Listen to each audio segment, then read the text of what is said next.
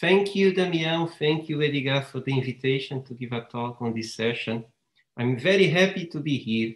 I would be happier if we were all together in Rio, but uh, next time, in two years, I hope we'll get together there. So today I'm going to talk on the solutions of the Henon equation. And my talk will be based on three works. One with Filomena Pacella from Universidade de Roma Sapienza, and two others with Wendell Leite da Silva that uh, got the PhD degree in our department last year. And so this is the outline of my talk. I'm going to start with the equation, small motivation, and also positive solutions. And then I will shift to nodal solutions.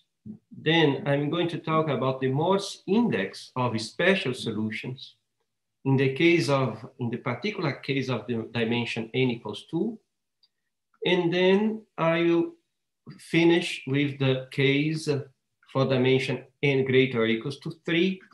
And I'm, I'm going to discuss about the asymptotic profile of radial solutions.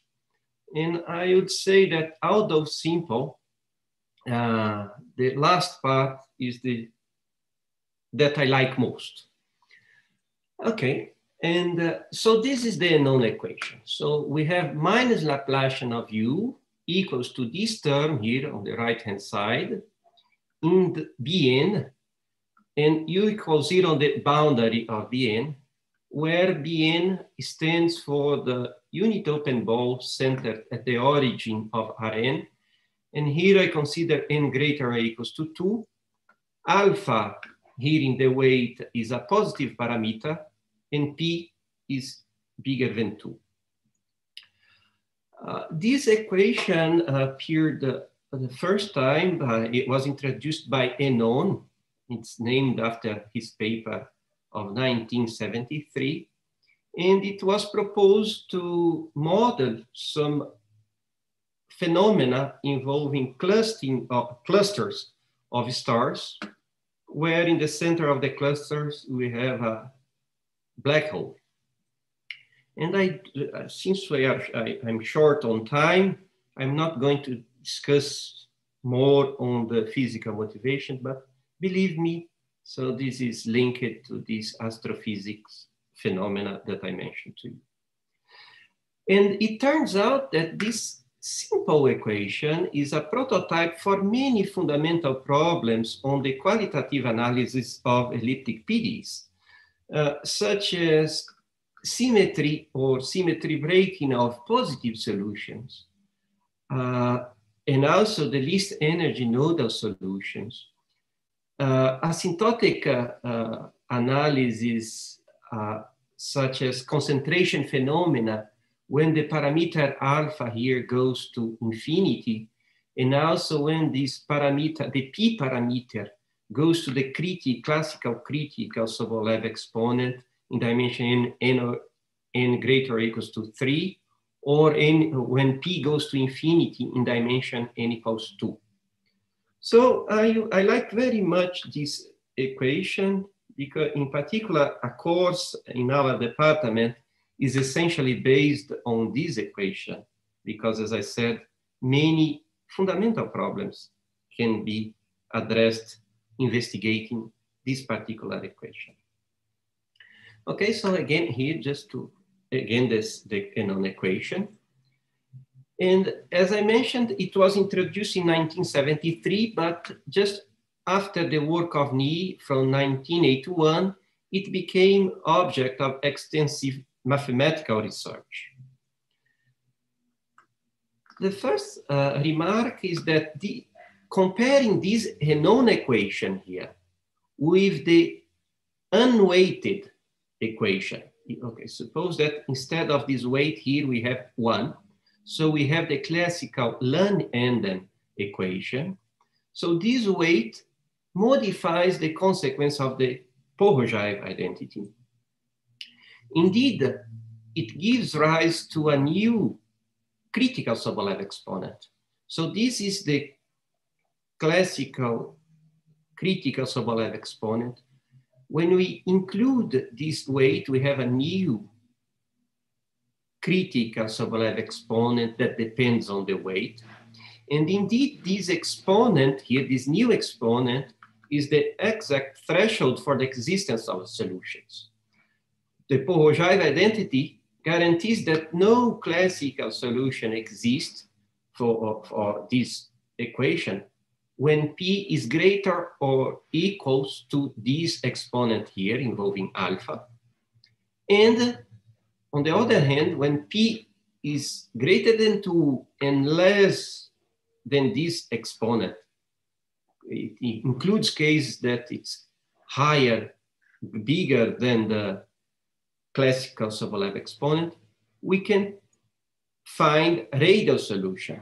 And this was proved in the work of Ni very long time ago. Uh, based on a radial lemma. Indeed, Ni proved uh, a embedding of the space H10 of radial functions into this Lebesgue space, weighted Lebesgue space. Uh, and here you see the new critical exponent.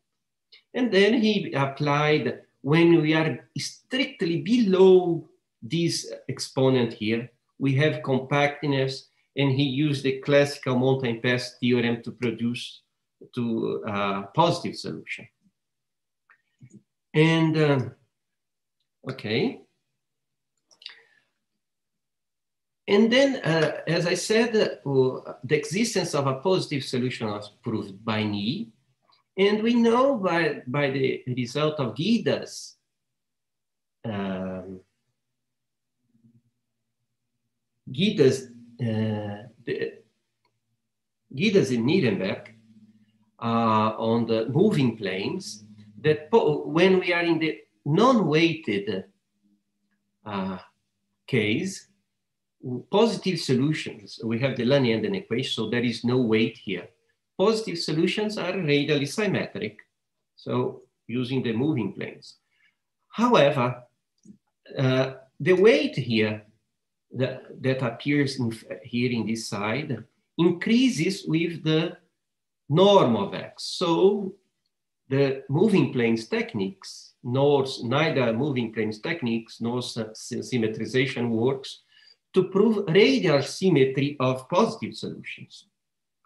Indeed, when P is superlinear, and the pro problem is superlinear, P greater than 2 and less than the classical critical Sobolev exponent, and alpha is sufficiently large, for, uh, the least energy solution, what I called here LES, uh, although positive, are not radially symmetric. And this was proved in 2002 by Ismetsu and Len in the case n greater equals to 2, and later by Byeon and Wang for all dimensions n greater equals to 1. And uh,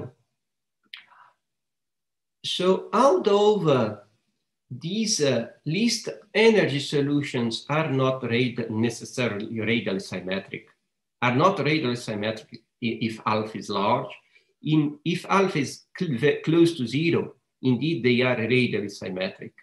But in any case, there is these special solutions, least energy solutions, have a residual symmetry that is called the Schwarz-foliated symmetry.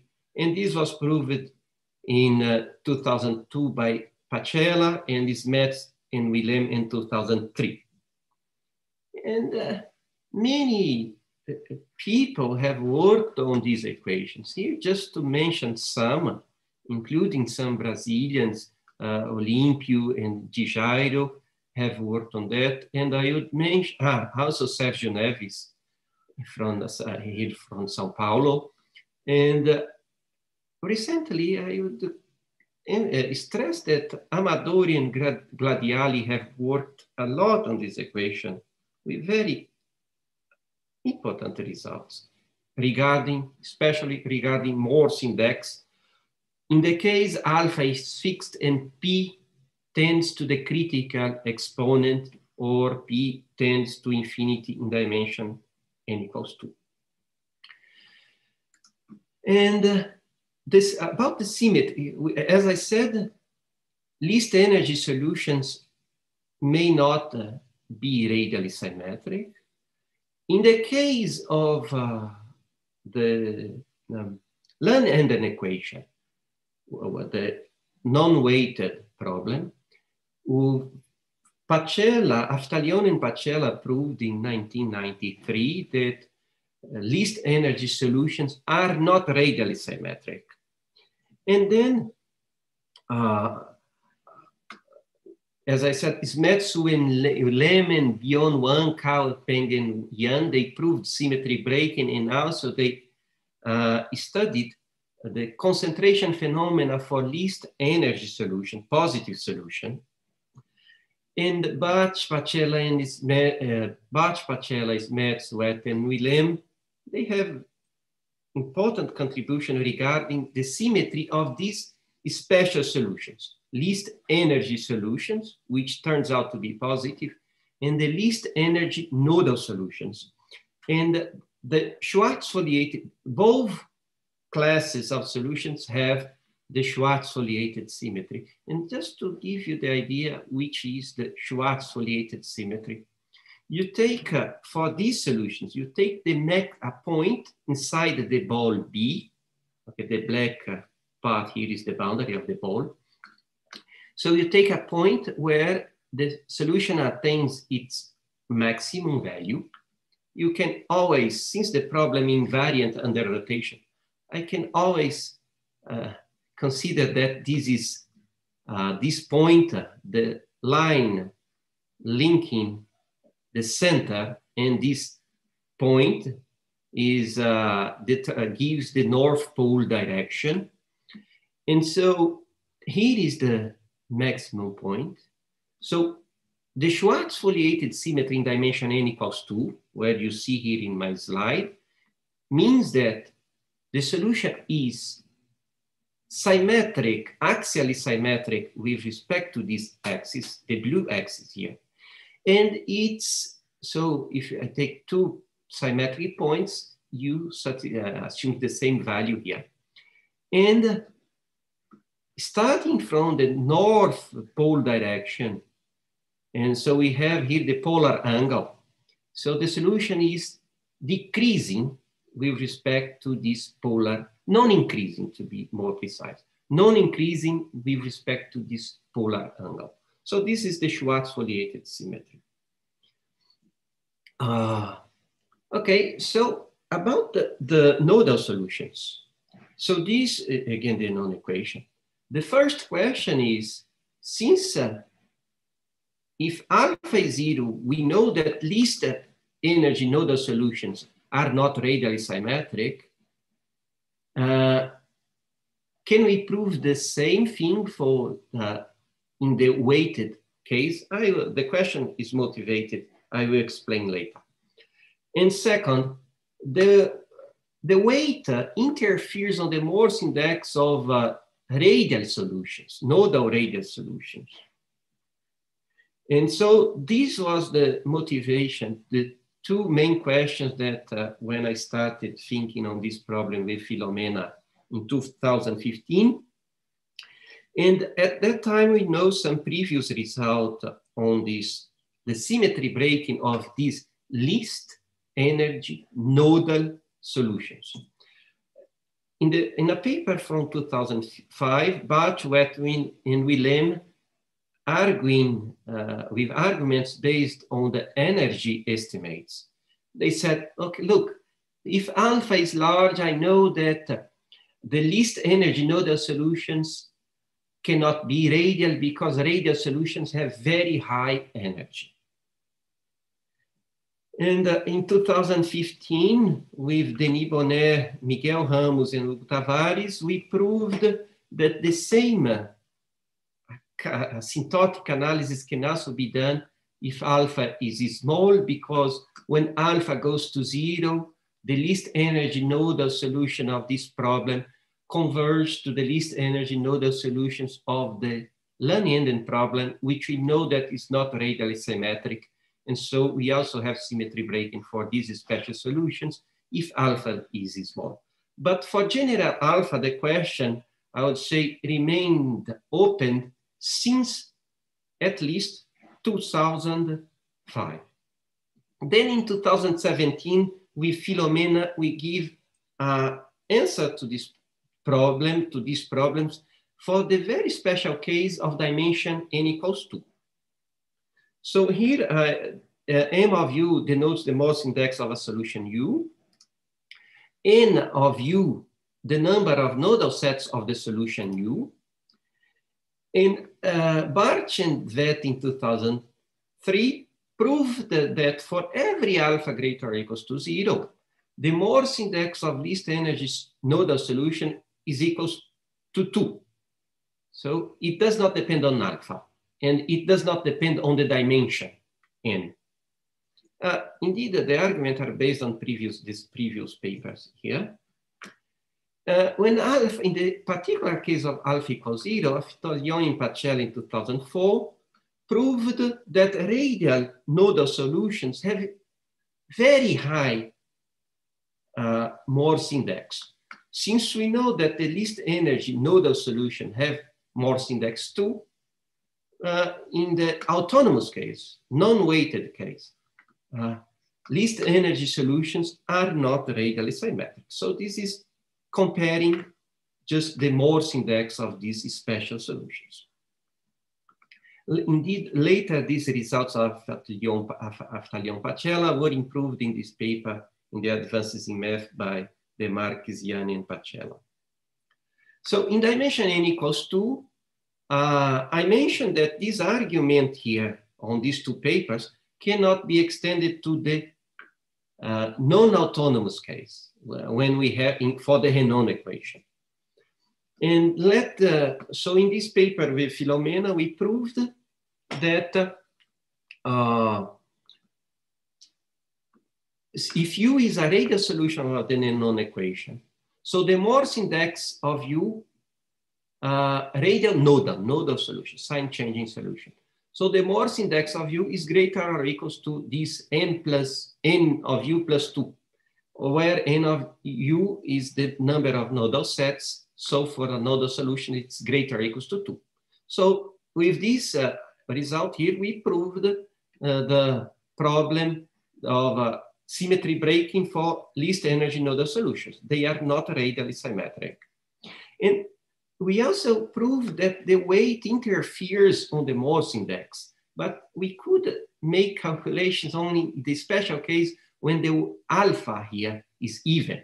So we, we proved this lower bound. In particular, we proved that radial solution, Morse index of radial solutions are very, very high if the weight, as if the alpha here, the parameter alpha in the weight is very high. So consequently, every least energy nodal solution is not radially symmetric. And the Morse index of any radial solution with a fixed number of nodal sets goes to infinity along the sequence of uh, uh, even uh, uh, weight, when the power of the weight is even. Okay, I'm going to be a little skip these because uh, I, uh, I, am getting out of time. The proof, as I said, the proof of Talion Pacella does not extend to the case of the non-autonomous uh, problem. I'm going to skip this, otherwise. So this is just, if, I'm sorry not to define the, for those that do not know. Uh, okay, very fast here. The Morse index of a solution of this problem is the maximum dimension of a subspace in H10 in which the quadratic form, this quadratic form, which is the second derivative of the functional uh, at a solution U, of evaluating the pair WW is negative definite. So this is the definition of Morse index. We have alternative definitions.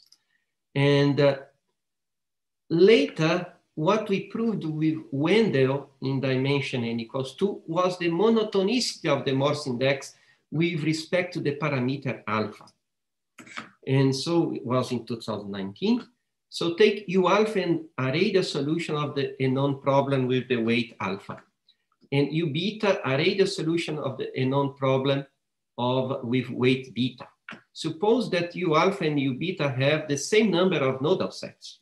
So if alpha is less or equal than beta, then the Morse index of U alpha is less or equal than the Morse index of U beta. So this is the monotonicity of the Morse index. And the radial Morse index restricted to the, uh, I mean, the quadratic form restricted to the radial function is constant, does not depend on alpha, but only on the number of nodal sets. So this is, and the, the, the argument was based on a change, useful change of variables that only works in dimension n equals two. Indeed, we could relate in dimension n equals two the problem with uh, the weight uh, x alpha and x beta. There is a, a, a correspondence between solutions of, uh, of the problem P alpha and P beta in the sense of radial solutions. Okay, from a solution U alpha of the problem P alpha, we produce a solution we beat uh, U beta of the problem with the weight x to the power beta. And this is the change of variables. So this is why we could obtain uh, this result here. So very, I would say, simple calculations. And uh, we also proved uh, uh, some lower bounds for the Morse indices. With Filomena, we got these for every solutions. We proved these with uh, uh, the, when alpha is even. And these, our results were improved by Amadori and Gladiali in 2020. And with Wenda, we could improve a little bit uh, more this uh, estimate here. Uh, okay, so this is, and just to finish, uh, I would uh, move now to the case n greater equal to three. And uh, in this case, I would start with the, the motivation for our results based on the case n equals two. We know that uh, uh, using that change of variable, we could link a, a radial solution of the Hénon equation with the weight alpha with a radial solution with the same number of uh, nodal sets of the problem, a non-weighted problem, the Lane-Emden equation. So this works fine in dimension equal n equals two. And so we can uh, prove many results just using this simple change of variable. So we got a asymptotic profile of this solution U alpha, just analyzing uh, using this change of variable. Okay. In particular, the radial solutions, you see that the radii where the radial, uh, radial solution of the problem, uh, the Hénon problem vanish, they all goes to the boundary as alpha goes to infinity. And which was the, so we, we see, what we see here, in dimension n equals two, we have a change of variable that says, uh, look, all the solution of the Hénon problem are indeed based on radial solution of the Lane-Emden problem. In dimension n equals greater or equals to three, what we managed to prove that, and that I like very much is that, so consider the Henon equation dimension n greater equals to three, in the two-dimensional. The Lane-Emden equation, you see here there is no weight, in dimension two. Make the change of variable inspired uh, the same change of variable from dimension two. So what we proved, this uh, function here, V alpha, uh, it does not, uh, I mean, we do not have a, solution in the, it's not a solution of a uh, second order equation involving the Laplacian operating dimension n, okay? But we could prove that this solution converges in this space here, okay, as alpha goes to infinity, to W, where W is the solution of the Lane-Emden problem with the same number of nodal sets of the solution U alpha. Okay, and so we could link so the Hénon problem in any dimension with the Lane-Emden problem with the same power P in dimension two. And just to give a flavor to finish my talk, uh, and to say how, how this may be true, using this change of variable here.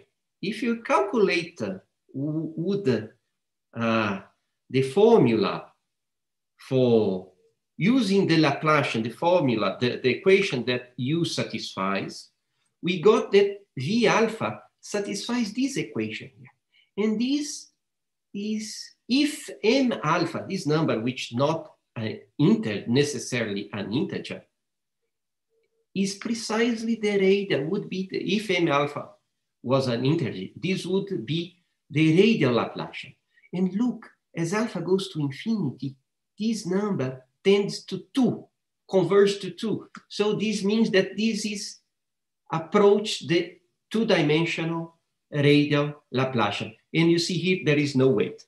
So I think I'm out of time and I thank you very much for the attention.